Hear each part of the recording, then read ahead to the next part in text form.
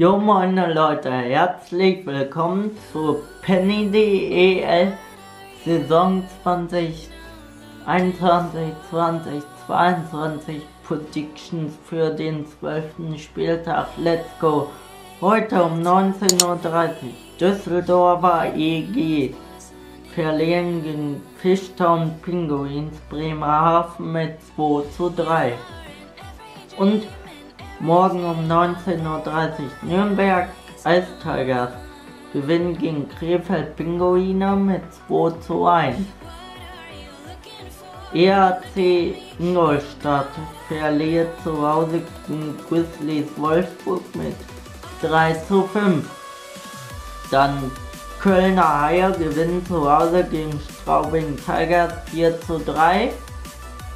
Schwemminger Wild Wings gegen Adler Mannheim 1 zu 6 für die Mannheimer.